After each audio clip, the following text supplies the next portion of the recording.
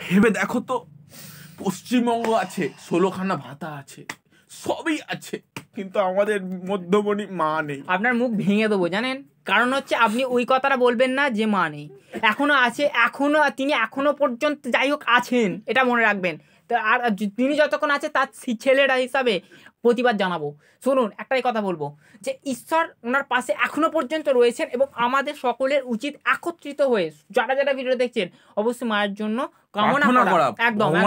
আমরা মুখ্যমন্ত্রী উচ্চারণ করি না কারণ আমরা ওদের মা। মনে করি। কারণ দেখো যেহেতু একটা মা কি করে? তার ছেলে মেয়েদের জন্য সমস্ত কিছু ব্যবস্থা করে দেয়। সেই রকমই আমরা যতই যাই থাকো অর্থাৎ তার কাছে দূরে থাকলে তিনি কিন্তু তিনি কিন্তু আমাদের কথা প্রতিনিয়ত ভেবে যাচ্ছেন। দেখুন তিনি তিনি কিন্তু বার্ধক্য ভাতা থেকে শুরু করে সাইকেল শুরু করে সমস্ত পড়াশোনার ষোলো ষোলো থেকে সতেরো খানা ভাতা থেকে শুরু করে একদম। সব কিছু ব্যবস্থা করে দিয়েছেন। মানে তিনি না থাকলে আমাদের বৃদ্ধদের কি হতো? একদম। ভেবে দেখুন। একদম। দাদা ভেবে দেখুন তিনি না থাকলে আমাদের সরকারি চাকরি থেকে শুরু করে প্রত্যেকটা বিষয় কি হতো? একদম। আজকে কি আমরা পেতাম? একদম। ভেবে দেখুন তিনি আমাদের এত উন্নয়ন প্রকল্পে এত। সাহায্য এই যে করেছেন। রাস্তাঘাট এই যে এই যে কইছে জল প্রকল্প জল প্রকল্প একটা করল। যাই হোক না লোন নিয়ে হোক যে নেই হোক কিন্তু তিনি তো করেছেন। করেছেন, একদম। করে দেখিয়েছেন তো একদম। যে আমি করতে পারি। একদম। এখানে আসল ঘটনাটা বলে দিই। ওয়েট করো দর্শক। দর্শক দেখো ঘটনাটা এরকম হয়েছে যে আজ আবহাওয়া খুব খারাপ তোমরা বুঝতেই পারছ। তো এই বৃষ্টি পড়ছে ক্রমাগত এবং আবহাওয়ার মধ্যে একটা কেন হাওয়ার প্রকোপ রয়েছে। তো সেই কারণে অবস্থা আজকে। সেইখানে হেলিকপ্টার যিনি ড্রাইভার রয়েছে তিনি মুখ্যমন্ত্রীকে বলেন যে আজ যদি আমরা হেলিকপ্টার নিয়ে যাই তো কি কি প্রতিকূলতা আসতে পারে? কি সম্ভাবনা হতে পারে? কিন্তু হেলিকপ্টারের যে পাখা সেটা কিন্তু বন্ধ হয়ে যেতে পারে। কারণ হচ্ছে বা হেলিকপ্টারের পাখা কিন্তু ঘূর্ণয়নের যে গতি সেটা কিন্তু কমে যাবে কারণ বায়ুর প্রেসার রয়েছে একটা। তো এবার বৃষ্টি পড়ছে তো সেই জায়গায় একটা খারাপ একটা পরিস্থিতি তৈরি হবে। তো সেই কারণে বললেন যে আপনি কাজ সড়ক পথে চলে। মুখ্যমন্ত্রী যথারীতি ভালো মনের মানুষ আর কি জানতো কি কি হতে তার চলেছে। সাদা মনে কোনো কাদা নেই? কাদা কাদা নেই। এবার তিনি যথারীতি যাচ্ছেন যে এবার যথারীতি বর্ধমানে যান গিয়ে যথারীতি খবর কথা শোনেন যে কার কি সমস্যা। অবশ্যই তিনি সেই বললেন যে আমি সব ব্যবস্থা করে দেবো। তো এবার তিনি যথারীতি সড়ক পথে তো গাড়ি করে আসছেন। তো এবার কি হচ্ছে গাড়ি করে যথারীতি আসছেন। তো সামনে মুখ্যমন্ত্রী পাঁচটা গাড়ি পেছনের দিকে পাঁচটা গাড়ি। মোটামুটি এরকম থাকে। প্রোটেক্টের একটা ব্যাপার থাকে। তো সামনের গাড়িটা ব্রেক করতে কি হয়েছে?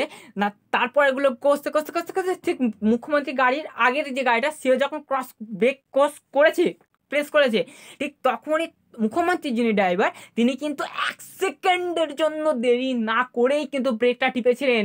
আর যার তরুণী মুখ্যমন্ত্রী বেঁচে আছেন।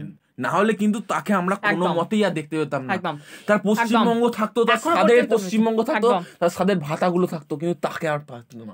মানে এই যে কষ্টটা আমরা কোথায় রাখতাম? আমি একটা কথা বলি যে তিনি চলে গেলে যে ভাতাগুলো থাক- থাকবে তার কোনো মানে নেই। কারণ অনেক যিনি আসবেন তিনি কিন্তু পাতা শেষ করে দেবেন। হ্যাঁ সেটা ঠিকই। কারণ মানে এত প্রকল্প কন্যাশ্রী প্রকল্প যুবশ্রী প্রকল্প রূপশ্রী। প্রকল্প সরকারি চাকরি থেকে শুরু করে সবই তিনি ব্যবস্থা করে দিয়ে সড়ক উন্নয়ন থেকে শুরু করে লোন নিয়ে প্রত্যেকটা জায়গাতে মানে প্রত্যেকটা ঘরে ঘরে পার ডে পাঁচ থেকে সাত লক্ষ টাকা প্রশ্ন করে মুখ্যমন্ত্রী কি করেছেন তাহলে আমি তাকে ঘুরিয়ে প্রশ্ন করব মুখ্যমন্ত্রী কি করেননি বলো।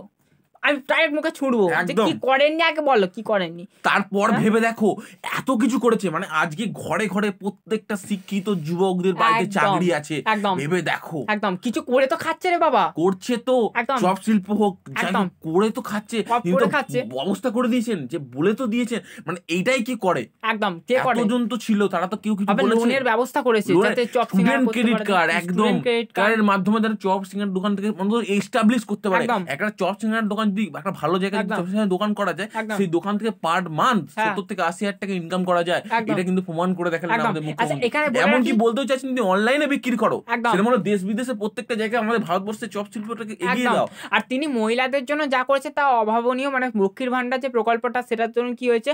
না মাসে মাসে একটা হাত খরচ হিসাবে কিছু না কিছু পাচ্ছি। একদম। তাই না? হাজার টাকা পাঁচশো টাকা যাই পাক তুমি পাচ্ছ অনেকেই পাচ্ছ এই মুহূর্তে মানে আমাদের মুখ্যমন্ত্রী কেমন আছেন? আছেন না গেছেন আচ্ছা, অবশ্যই। বলে দিন বলে দিই মুখ্যমন্ত্রী ওনারা তো গাড়িটা প্রেস করার সঙ্গে সঙ্গে কিন্তু মুখ্যমন্ত্রী একটুখানি চোট লাগে মাথায়। মাথায় ভালো রকম চোট লেগেছে কিন্তু মুখ্যমন্ত্রী মিডিয়ার সামনে বলেছেন যে আমার চোট লাগেনি সেরকম কিছু লাগেনি। কিন্তু সত্যি কথা বলতে তিনি পার্সোনালভাবে আমাদের জানিয়েছেন যে তার কিন্তু মাথার যে দিকটা আর কি ব্রেনের দিকটা কিন্তু প্রচণ্ড পরিমাণে একটু ব্যথা রয়েছে। তো এ থেকে একটা জিনিস তিনি ব্যক্তিগতভাবে চিকিৎসা করাচ্ছেন। তো আশা করি যে ডাক্তার তিনি বলেছেন যে তেমন কিছু হয়নি। জাস্ট ঈশ্বরের আশীর্বাদ এবং যে জনগণ রয়েছে তাদের ভালোবাসা অনেকের ভালোবাসাতে তিনি। এখনও পর্যন্ত আছেন আমাদের মধ্যে। একদম এখনও পর্যন্ত রয়েছেন। তো এবার আমাদের আশীর্বাদ আমাদের ভালোবাসাই কিন্তু আমাদের মুখ্যমন্ত্রীকে আমাদের কাছে বেঁধে রাখবে। ঠিক আছে? এবং ওনার কর্মফলে কিন্তু ওনাকে বাঁচিয়ে দেবে। তো দেখুন এখানে আমাদের কাজ হচ্ছে অবশ্যই তাকে বাঁচানো গেল। একদম। জানি না এরপর মানে প্রত্যেকটা মুহূর্তে কি হয় সেটা তো বলা চিন্তা রয়েছে অনেক কিছু রয়েছে কারণ কারণ ওরা শত্রুর অভাব নেই। তো এখানে আমি একটা কথা বলব যে তোমরা সবাই তোমাদের কি মতামত? তোমাদের মতামত তোমাদের মতামত কমেন্ট বক্সে অবশ্যই জানাবে। খারাপ ভালো সমস্ত কিছু জানাবে। কারণ তোমাদের কমেন্ট আমাদের কাছে অত্যন্ত গুরুত্বপূর্ণ। একদম তোমাদের কমেন্টে কারণ আমাদের কাছে তুমি বলো তুমি আপ্লুত আনন্দিত দুঃখিত কান্নারত নাকি হেসে হেসে ফাটিয়ে দিচ্ছ? মিষ্টি আনছো? কি করতে। চাইছো? মুখ্যমন্ত্রী বাড়িতে চলে গেছো? অলরেডি মিষ্টি হাড়ি নিয়ে তাকে কি দেখতে গেছো? সমস্ত কিছু তুমি জানাও কমেন্ট বক্সে ধন্যবাদ। কমেন্ট বক্সে দেখা হচ্ছে তোমাদের সাথে।